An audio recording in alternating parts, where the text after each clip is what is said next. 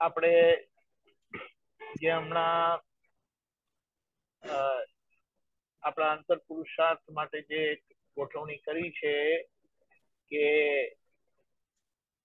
ત્રણ છૂટાપડાના વાક્યનું આરાધનથી આપણે અંતરાત્મા દશાએ જાગ્રત રહીએ અને પ્રજ્ઞા શક્તિના પ્રકાશમાં આપણે આપણા પૂતાપણાને જોઈએ તો એ પૂતાપણો ભાગ છે છે દાદાજી છે કે અમે જીતી લીધો. એટલે અમે પરમાત્મા દશાને પામ્યા. એટલે આઈ માઇનસ ના ઇઝ પરમાત્મા કરીને જે કીધું, આખું એ રીતે. અને એમ કે તમને એ જ પરમાત્મા યોગ આપ્યો છે, પણ તમને હજી પોતાપણું પજવે છે. તો એ પોતાપણાનો ઉકેલ લાવતા જેમને આવડી ગયો. તો કે એમનું કામ થઈ જાય. તો અંકિયાનંદજી એ પોતાપણાનો ઉકેલ તમે કેવી રીતે લાવો છો?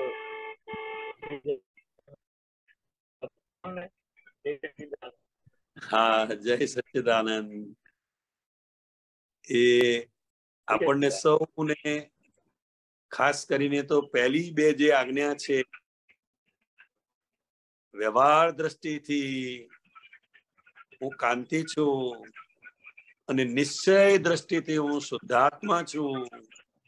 એટલે પ્રત્યેક સંયોગોની અંદર કઈ પણ વસ્તુ બને છે, કઈ પણ વસ્તુ થાય છે, તો આ કોને થયું અને હું ખરેખર કોણ છું એમ? એ પહેલી બે જે આજ્ઞા છે અને ફાઇલ નંબર એક સાથેનો શુદ્ધાત્માએ કરીને આખો જે વાર્તાલાપ ખરો સ્વાધ્યાય આપણી અંદર જે ચાલે છે એ જ ખરેખર છૂટાપણાનો આપણો બધાનો અનુભવ છે. શુદ્ધાત્માના પદમાં રહી કાંતિને કંઈ પણ કહેવું એ જ ખરેખર છૂટાપણાનો અનુભવ છે.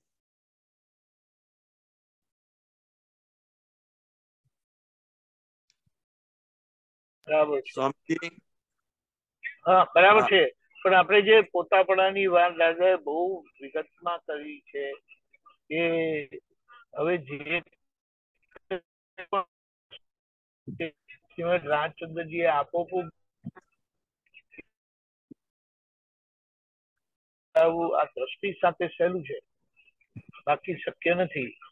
એટલે એ પોતાપણાનું ઇલેબોરેશન થોડું થાય તો ખબર પડે કેવી રીતે વ્યક્ત થાય છે. એ જરા કહો ને.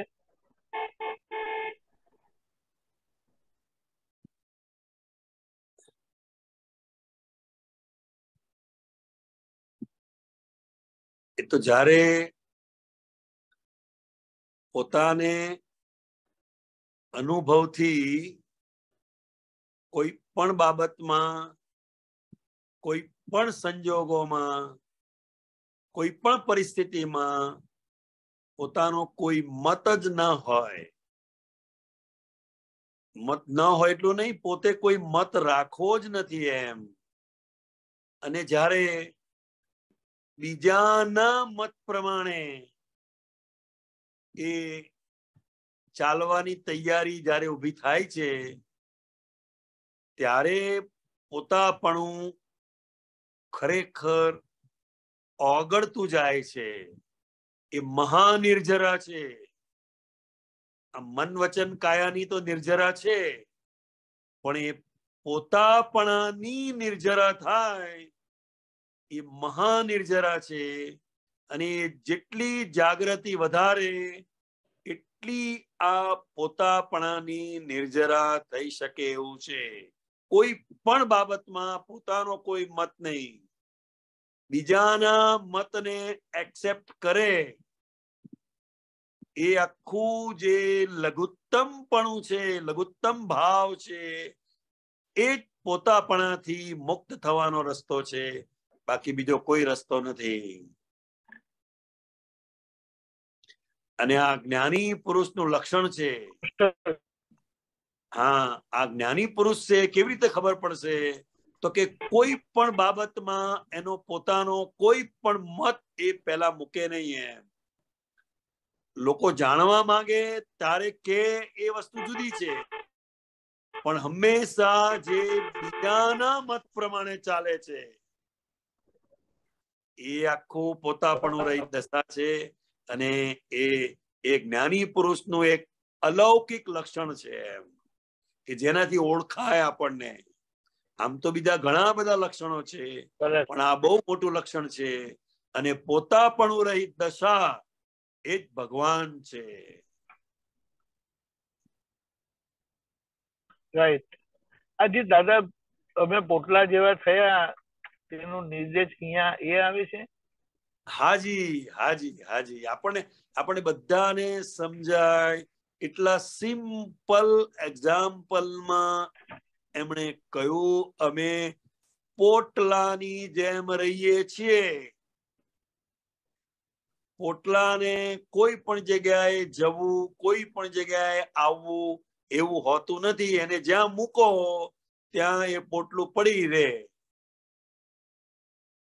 એટલે એવી પોતાપણું રહી દશાથી દાદા ભગવાન પોતે આપણી સાથે જીવન જીવી ગયા. એ exact ખૂબ સરસ રાઈટ પોટલા પોટલાનો એક્ઝામ્પલ પોતાપણું સમજવા માટે બહુ જ પરફેક્ટ દ્રષ્ટાંત છે આ. અને હવે આપણે આપણે આ વસ્તુ જોવાની છે કે આપણે પોટલા તરીકે રહી